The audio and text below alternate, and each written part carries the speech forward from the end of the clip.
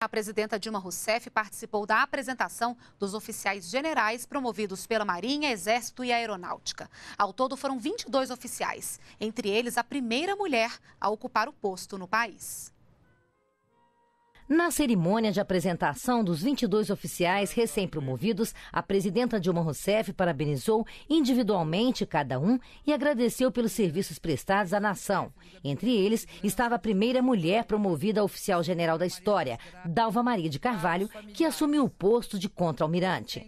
A presidenta Dilma Rousseff lembrou em discurso que uma mulher assumir um posto tão importante nas Forças Armadas abre caminho para a realização do sonho de outras mulheres brasileiras.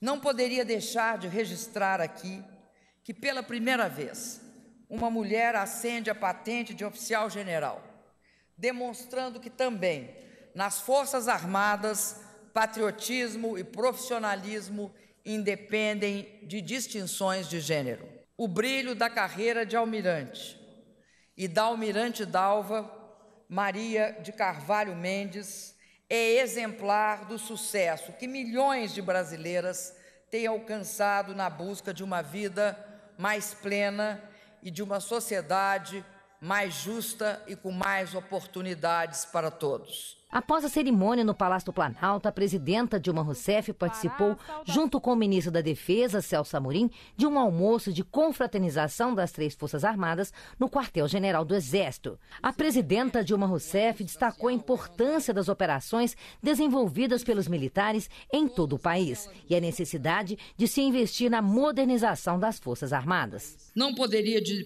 deixar de mencionar o nosso compromisso com o fortalecimento da nossa indústria nacional de defesa, vital para um país que deseja ter capacidades militares apropriadas e manter sua independência internacional.